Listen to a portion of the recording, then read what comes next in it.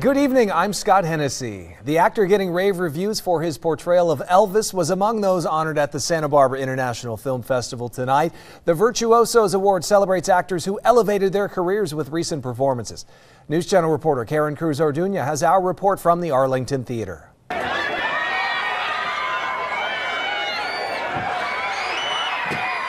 The Santa Barbara International Film Festival rolled out the red carpet outside the Arlington Theater for the eight Virtuosos Award honorees. Many people like Shotty Gotts were waiting for hours. I am looking forward to seeing Austin Butler. I am looking for, I love him.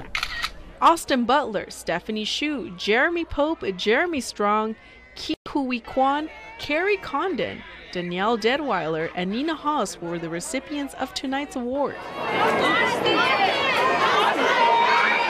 Butler signed posters and took lots of pictures with his fans. Walked these streets uh, since I was a kid, you know, and, and so to, to, be here now under these circumstances feels very special. yeah, but it's up and it's down. Jeremy Pope feels the same way as Butler, special as this is his first time in Santa Barbara. I'm jealous that I haven't spent more time here. So I'm here for this, but I'm coming back. I'm definitely coming back. Jane Lynch presented the awards. This is my hometown. I live here, and so it's really nice to be a, a part of this festival. Stephanie Hsu and Nina Hoss were also thrilled to be at the Santa Barbara Film Festival as honorees.